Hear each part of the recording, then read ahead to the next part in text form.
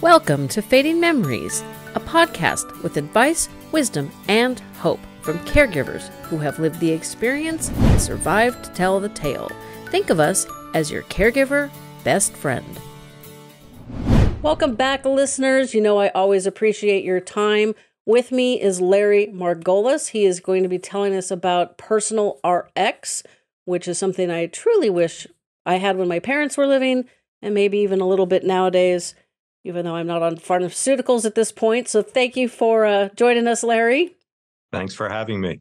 And I'm glad you're not on pharmaceuticals anymore. Ever. It's like it's a life goal. Um, That's great. So tell us about yourself, how you um, got into personal R personal RX and what it is, and do you have a caregiving background? Uh, I don't directly have a caregiving background. I got into personal RX. Um, uh, well, I guess I do have a caregiving background. I have a, a daughter that had uh, severe uh, medical issues, and uh, primarily in part from a medication error. And so I fundamentally just got the idea of doing medication better and having a better alternative for medication. As it turns out, there's some 42 million other people that take multiple medications that that need some extra help also. So what turned from a passive investment uh, in personal RX uh, became a passion and uh, a, a, primary uh, position for me and a primary career for me. I'm always amazed how one many caregivers create a, the solution they need. Like I needed a podcast that answered the questions I had, and back in late 2017 there was one, and she's still around, so you know it's still a good podcast, but it wasn't quite right for me. You know, we got people that write books and plays and all just I'm just always amazed. And you know, it's kind of the American way of doing things. It's like you see a need, and a lot of us try to fill it. So I, I, I always, I'm always kind of proud of those moments when I hear about somebody creating something that Absolutely. they needed that helps the rest of us. So why yeah. don't you explain what personal RX is? I think people can kind of guess, but well, uh, yeah, the name Personal RX gives it away, but personal is really in our DNA. Uh, everything that we do, we make it a personal experience. Typically, people revolve around a pharmacy and you go pick up your medication, you wait in line, you call your doctors to get refills. Maybe your doctors comply on time, but you're doing a lot of legwork. And then when you finally get all of those medications, if you have a lot, now you got to organize them at home and hope you take them at the right time, the right way, and, and not overtake them, not drop them. So Personal RX eases all of that. So the first thing that we really do is coordinate all of your care. Uh, so that all of your doctors know what you're taking and all of your doc we do that through a, a letter that we send out to their to your doctors we fax and it specifically says which each doctor is re- prescribing. Uh, we think it's really important so we reconcile all those medications. So we start with a good baseline to make sure you have the right stuff. Once we make sure you have the right stuff now we coordinate getting it to you in easy to use dose packs. So those are little packs that uh, hold six, seven medications, uh, sometimes four or five medications, depending upon the time of day and when you take them. Each pack is individually marked with your name, the date, and the time of day that you should be taking the medication. And it comes in a roll, and you peel it off, and you wake up in the morning and you have your breakfast medication or your 8 a.m. medication. And if you look at it at noon and 8 a.m. is still there, you didn't take it. It's really kind of obvious. We're also going to remind you when to take it. So we send you an electronic text or a phone call or even have Alexa send out a message that it's time to take your morning pills. That's amazing. So is this roll so when you've taken the morning ones, if you also have evening ones, are they on are they next in the roll? Yes. So on the roll would say 8 a.m., 12 p.m., 4 p.m., bedtime, uh, 9 p.m. Um, we have people that take multiple medications during the day. And so they're all done by time of day. That's amazing. And it's just like, so you, it's almost foolproof. It would be foolproof, but, you know, humans. but we don't bring a glass of water to your house. Otherwise, we do pretty much everything else. That is amazing. I don't know why why why are more people not why are more pharmacies not doing this? Well, we got those stupid com- caps that are hard to get off. well, that's true. It, eh, coordinating all of that care is takes a little extra time. And Personal RX provides a patient care coordinator for each one of our patients. So you're assigned your own person because like me, you, you, find a need for things. And and you know, when I I call a bank or I call a credit card company or an airline, and I have to uh, tell my story over and over again, I despise it. So here you don't have to do that. When you call here and you're a patient of ours, you don't dial a an extension. You don't have to remember who's your patient care coordinator. Your call is automatically routed to the right person who knows you. And it's the same person every month. And that makes it much more efficient for us to do our work, but it also makes for a much better experience for our patients. And that's the difference. And, and most pharmacies don't have that extra level of care. Uh, yeah. It's it's most pharmacies that I call, even just to check our competitors, uh, don't do a very good job of answering telephones. Mm-mm.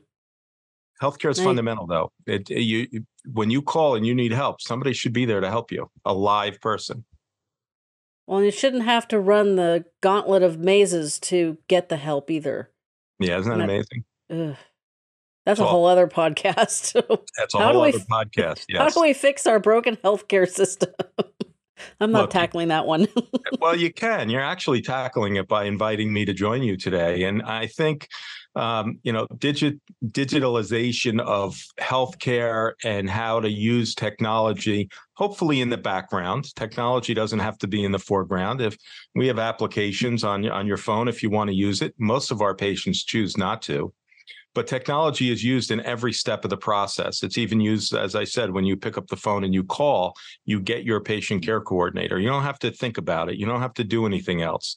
And that's technology the way it really ought to work when people are need a little extra time. So I think you're tackling uh, just by by this conversation and this chat.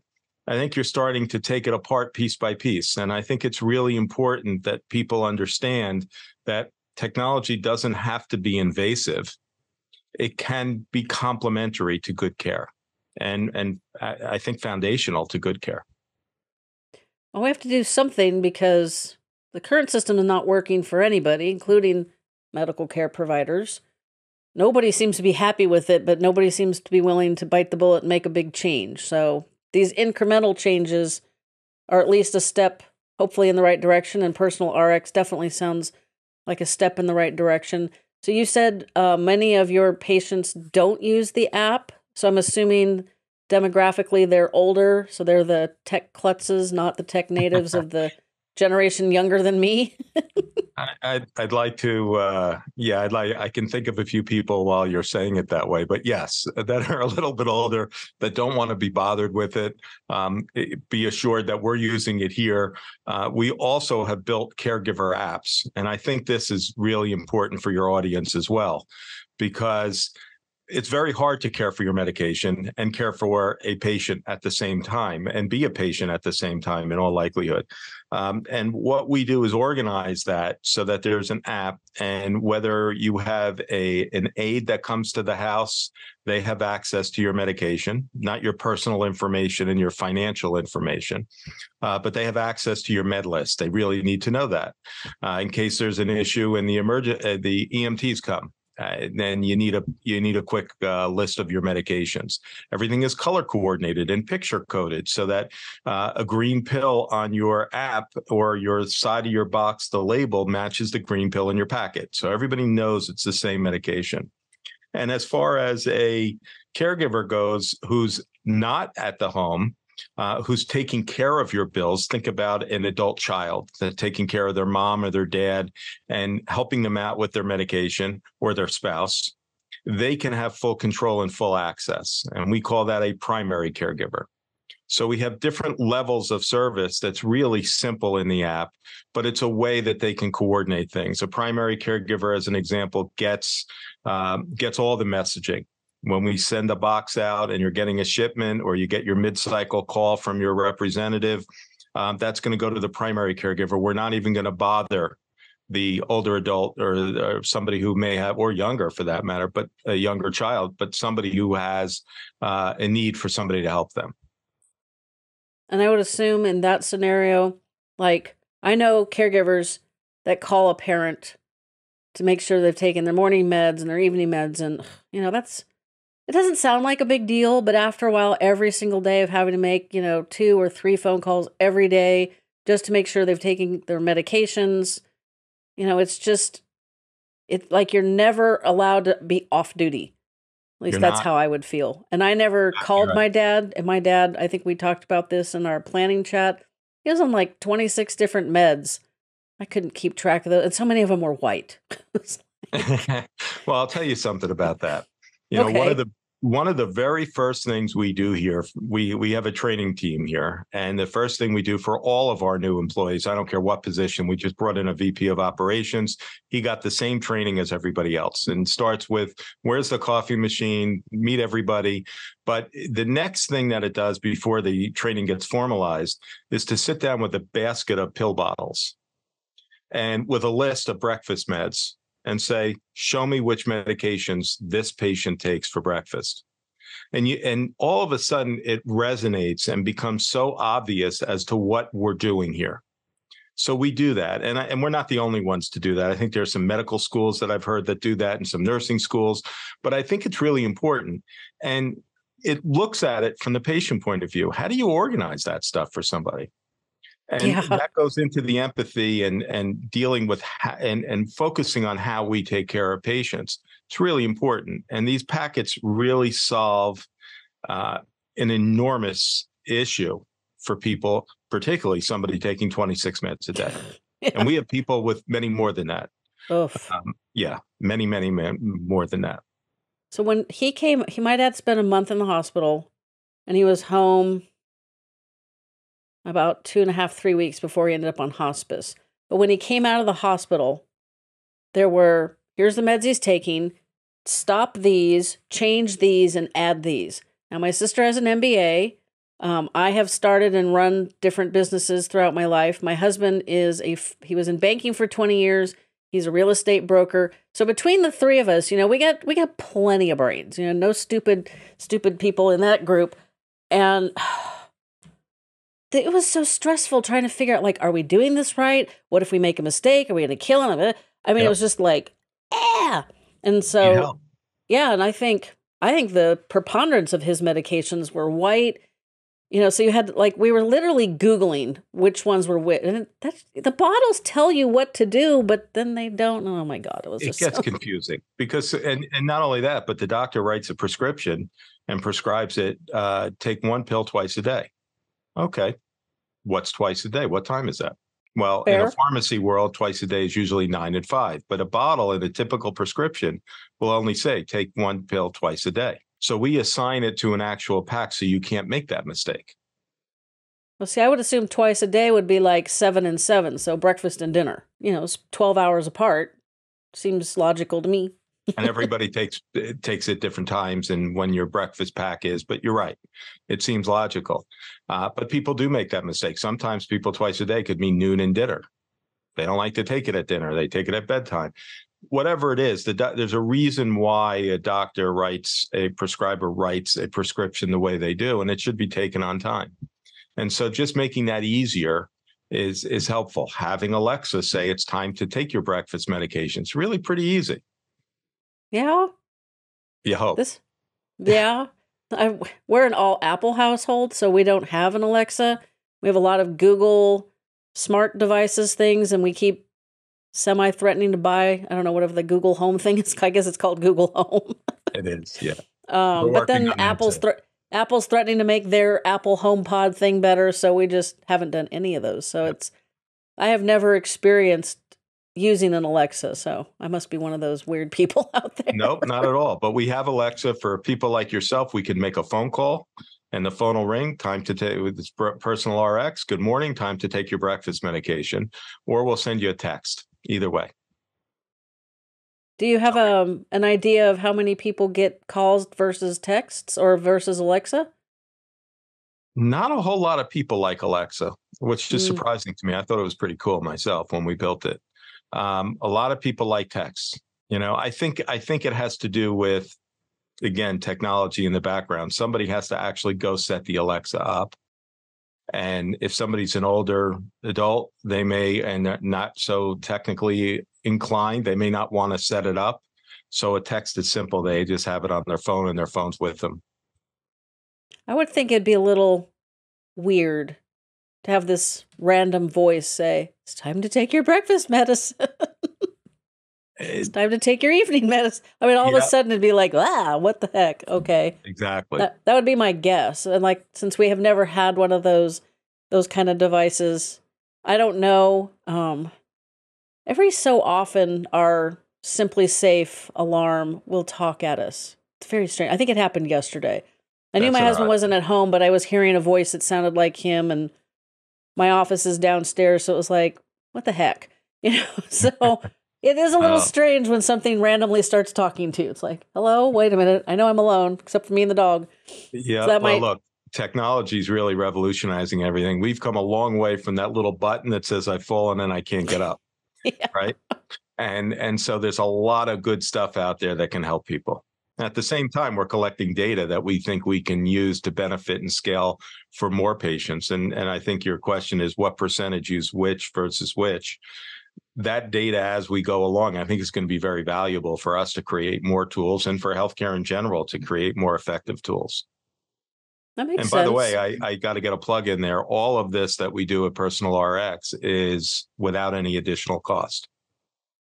So mm. your normal copay, you deserve a better you deserve more from your copay.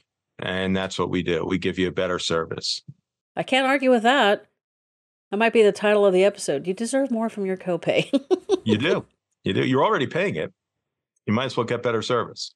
That is true. Yeah, I love I love it when you don't feel good and the doctor prescribes something um and you got to go sit in the pharmacy and wait for them even though they'll text you to say it's there. You have to check in and then go sit in the wherever away from the other sickies. To, I was know. just going to say that, yeah.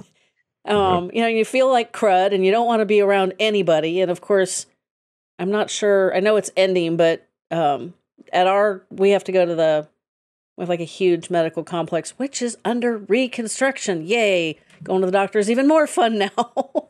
the, gar- the garage is being expanded, the hospital area is being expanded. So it's like, it was a nightmare before. Now I can't imagine. But, you know, you just, you don't want to be bothered and yet you have to go and sit there and try not to be too grumpy try not to be rude and obnoxious but you still have to wear a mask so you're like you, your nose is dripping and you it's, like, it's fun right? I'll be very happy when you have a respiratory issue and they don't immediately jump to have you had a covid test? Yes it was decidedly negative again could we skip this please? Like i work from home I hear you. And it's like it's like in December I wondered if I had the variant because I'm like, this is really I haven't been sick in a long time. I haven't been really around people. I kept looking it up and I'm like, yeah, there's like 10 symptoms and I think I might have like two and a half, so no. And then when I finally called the doctor, that was the question like, have you taken a recent COVID test? I'm like, Jesus, no. I will go do that. so I did. I did. I've done four COVID tests, always negative. So I'm like, okay, can we just stop now? Apparently, I'm never getting COVID. well, you're. And lucky. I was in DC in March. Yeah, and when I got, go? that was awesome. That's Wore great. myself out, but man, I had a great time. And we got to talk great to the legislative staffers for our representatives where I live. Um, so that was, you know, that's always a unique experience. Um, you know, we won't know how successful we are for a while, but you know, can't won't we won't be successful if we don't try. So for people who don't know what I was doing, I was in DC lobbying our Congress people um, and the senators to my part was to reverse the uh, Center for Medicare Services decision to not cover any of the Alzheimer's treatment medications that are available or any of the ones in the pipeline. So I don't understand how you can say, yeah, we're not going to cover that stuff we have no data about. It might be the perfect drug. Not that that's likely, but you never know. never know. Um, and see, then you could dispense it maybe, although these are um, infused. So if they get it into pill form, that'll be up to you. But yeah, but I uh, the cherry blossoms came out, everything was great. But when I got Perfect. home, I got one of those lovely push notifications that said, uh, "You may have been exposed to COVID," and I'm like, "Oh, look, it was in the days I was in the Capitol. How how prophetic." And then it expanded to a couple extra days, and I'm like, oh, lovely. So now what is it, airplane? But nothing. So I don't know. At some point, you have a strong be, immune system. I guess so. I try, try really hard. Apparently, working out in the cold garage is bad. I wouldn't have had any That's quote true. illness if I wasn't, you know, out there. You know, I was always amazed you could work out at a 47 degree garage and still sweat. But apparently, that was too much for my system. So you know, you have to make adjustments. So you said um all of this is technology based. So is this technology like was it expensive to get started? This is my entrepreneur brain asking now, not the caregiver brain. Now we're going to take a quick break for an ad. These ads help me continue to bring the show to you for free. When I learned that despite eating as healthy as possible, we can still have undernourished brains, I was frustrated. I also live in a farming community, so I'm aware that our food isn't grown as well as we need. Learning about NeuroReserve's Relevate and how it's formulated to fix this problem convinced me to give them a try. Now, I know many of you are skeptical, as was I. However, I know it's working because of one simple change my sweet tooth is gone. I didn't expect that, and it's not something other users have commented on, but here's some truth. My brain always wanted something sweet. Now, fruit usually did the trick, but not always. One bad night's sleep would fire up my sugar cravings so much they were almost impossible to ignore. You ever have your brain screaming for a donut? Well, for me, those days are gone. It's been about six months since I started taking the supplement, and I have no regrets. I believe in my results so much that I'm passing on my 15% discount to you. Try it for two or three months and see if you have a miraculous sweet tooth cure, or maybe just better focus and clarity. It's definitely worth a try. Now back to our conversation. Cost of doing business, but yes, uh, healthcare is the kind of thing that you just can't add a. Uh, it's it's not like a Google or a Facebook or a growing company where you can just add another couple of servers to make things work. So in healthcare, we got to do it first, and we have to build scale before they come and mm. uh, as the movie went and build it and they will come and they are coming. And and was it expensive? Yes. It was expensive both in terms of cost and in terms of experience in building it but clearly well worth it clearly well worth it and appreciated and um, frankly runs our entire operation. It's just amazing. I'm like i'm just always amazed at you know so i graduated from high school in 1984 i had a at least a semester, if not a year, of uh, you know basic computer programming, and we had the Commodore PET cassette tape drive computers. I mm-hmm. had a Radio Shack. Oh, good God, those were. we could talk all day about. Yeah, I remember those, yeah. and I think we got our first Apple computer in 1982. And when I say we're an all Apple household, I am not kidding. But uh, you know, so I when I think Me of too, technology, I go back to what it was way back in the beginning and my husband grew up in Sunnyvale, like a mile from Apple's headquarters. And Steve Jobs was actually one of the um, advisors to their computer club. So he How had cool a little, little, yeah, a little, little brush with fame or infamy, maybe. so, you know, it just, it just blows my mind how in my adult lifespan so far, where technology has gone. I mean, now we've got all this AI stuff, which is interesting and slightly scary more interesting than scary for me. It's going to happen, so might as well figure out how to embrace it, right?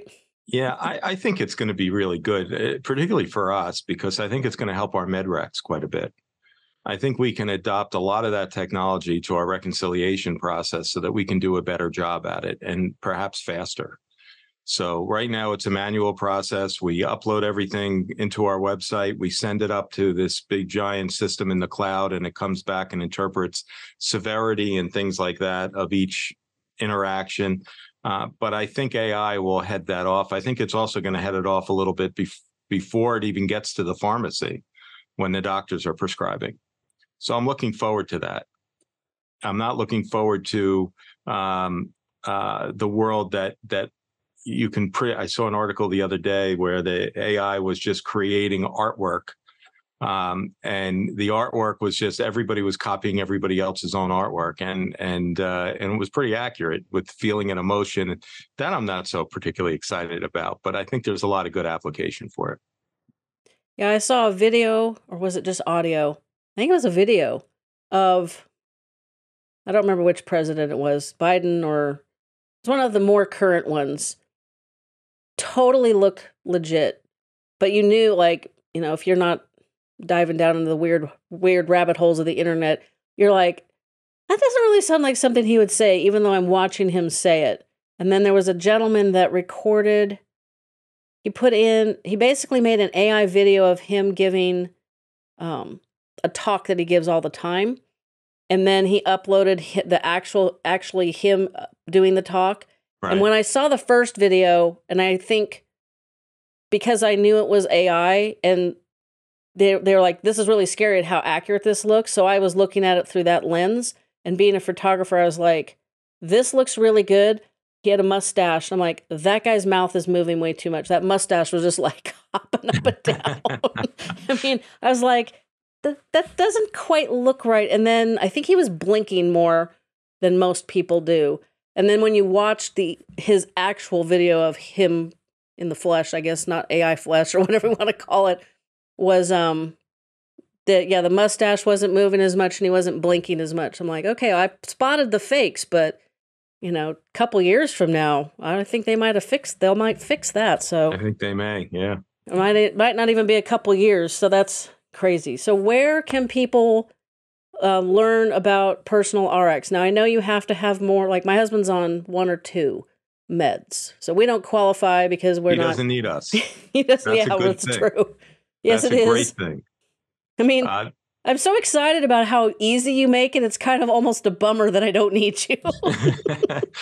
well, we're all getting older, so maybe you'll need us down the road. Hopefully not, though. Um, people can find us at personalrx.com.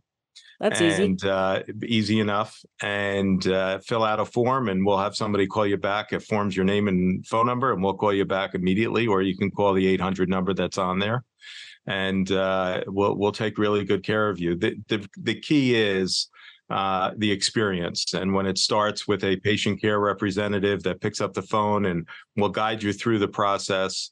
Our onboarding team, who's just amazing to get you on board and get your meds synced up and get them on time, and then of course onto our fulfillment team eh, that that consists of your patient care coordinator. It sounds like a lot, but it's a very organized process to make it it's it's completely transparent for our patients and caregivers.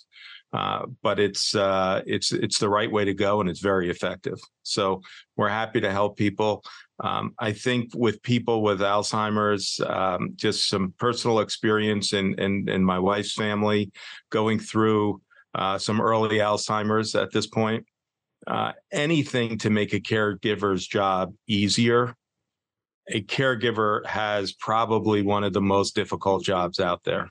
And you know yep. that from yep. our initial conversation. You told me some things and and uh, and your podcast. And you know, eh, they need to spend more time and eh, just focusing on the patient and focusing on the patient needs. They shouldn't be worried about medications. If the person needs to take a fish oil or a supplement, it should be right in the pack with their meds. They shouldn't have to have extra bottles around they shouldn't have to worry about anything else. They should just be able to take good care of that patient. So just not not having to sit at the pharmacy and wait, or I think my husband gets his.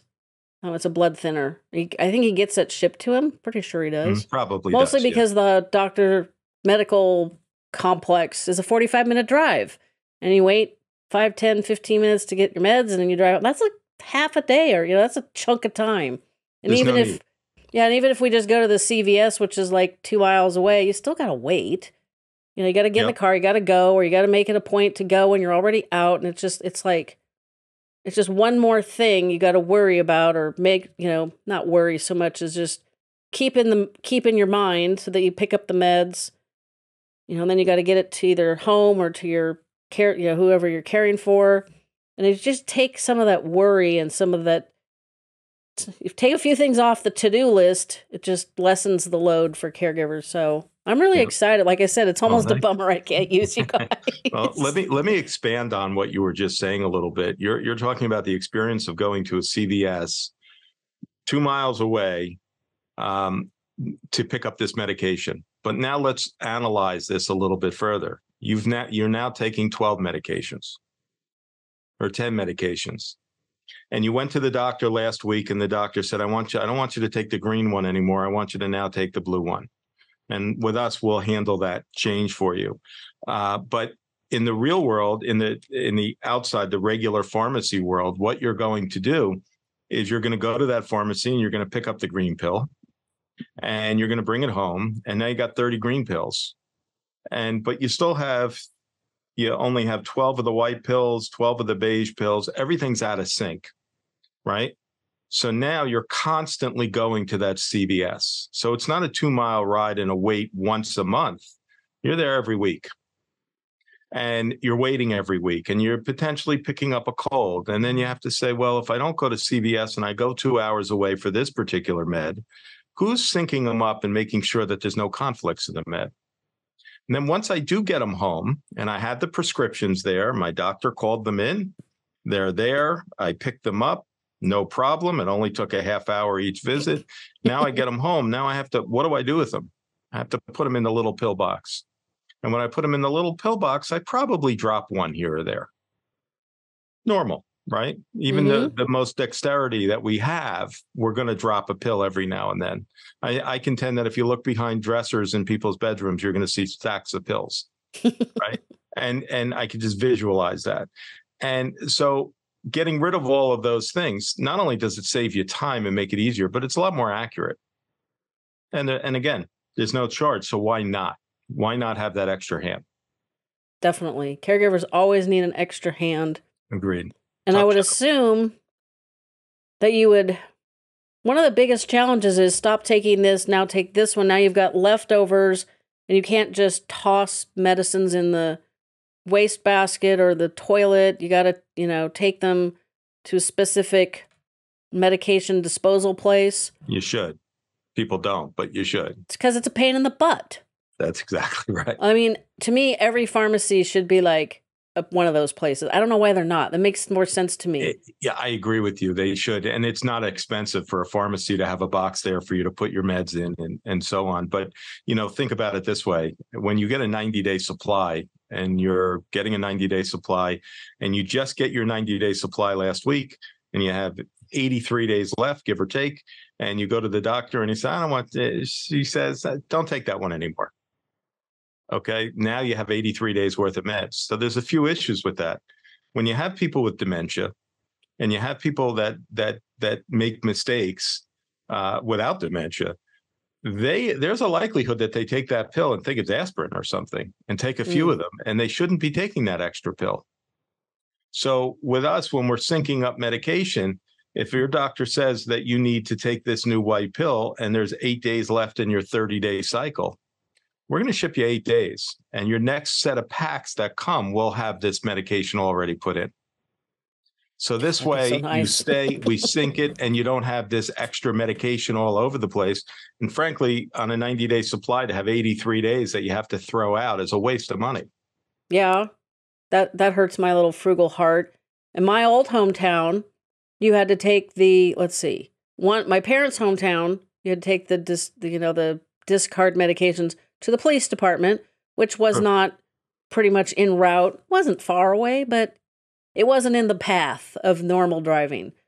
Um, in my old hometown, I think we actually had to take it to our county supervisor's office. Hmm. Like that was weird. At least she had it. one, right? yeah um you know we only had to pass three cvs's and a walgreens to get there or whatever but Yeah. um and then here so i live an hour north of sacramento an hour south of tahoe. Um we have to actually take it this is going to sound weird. So we have a a dump and you can take everything. So they do the e-waste and the cardboard and so everything goes there which is nice because then you can get all your amazon boxes and all your other crap and the discard medicines and it all goes to one place. But again it's not necessarily in the path. It kind of is. But you just have to remember to do it. So you're already at the pharmacy. Here, doctor said not to take these anymore. Deal with them. That's my yeah. Well, you know, and wouldn't shouldn't a caregiver have, or doesn't a caregiver have better things to do with their time? Yeah, definitely. You know, we're just it's it's just one more stress, even though it's not really that big a deal. It's not life or death, but it's just one of those things that you put on the to do list and you keep shuffling it around until you finally do it, or you finally give up and throw them in the wastebasket, which you're not supposed to do. Correct. So, so you're solving other problems as well. That's well, awesome. we try. But you know what? Think about just the cost of it. You're throwing away all that medication. You think about the cost of the healthcare system and how fragmented it is and and and in some ways how chaotic it is and it can be there's so many things that could that could make it better well and it, like we were saying before in this simple small little way you just don't have this extra medication around that could be problematic if people take it and costly save Definitely. money Well, I like that. Make it easy, save money, get more for your your copay. What's not to like? that's my favorite get more for your copay you're already paying it you know The health So- system we're at, they have their own pharmacy, so I'd have to change healthcare companies, which wouldn't hurt my feelings, um, to be able to utilize you guys. But then I'd also need to be on pharmaceuticals, so exactly so little hurdle there right for me. You're better off right where we are right where you are i should say That's kind of my goal, dealing with my dad's medications. And one of the things I ended up having to do um, closer to the end of his life is, you know, he'd say, Can you go to this CVS and pick up this stuff? Then I'd have to go to a second one to pick up some other ones because the first one, I got to go to two pharmacies for one guy's prescription. That made me insane. So, absolutely I'm sure that's not uncommon, or you go and they don't have what you need. And ugh, it's like, you get to wait mm-hmm. online all over again right Yeah, so much fun. And you get if you know, if you're caring for somebody in the later stages of the disease and maybe they have other comorbidities, then it's not just easy to just leave the house. You might have to bring them with Correct. you. Like so, yeah, no. Definitely more more of you for more people, please. we appreciate that we try mm. very hard every day we have a happy team you know I, I talk about that too. I think that's a big deal for a caregiver. I think it's a big deal for patients. Uh, you got to deal with people who are happy. In fact we we interviewed somebody yesterday. We're constantly adding people. And um, uh, we we told the agency that that that recommended this person wrong personality for us. Capable not happy. Can't work here. So Yeah, it doesn't mean we're enough- not happy all the time. We're happy all the time but it, it- when people are struggling and they're taking a lot of medications and they're going through a lot uh, even just a caregiver going through a lot for their job or for their parent you need a higher level of uh, compassion and empathy Yep.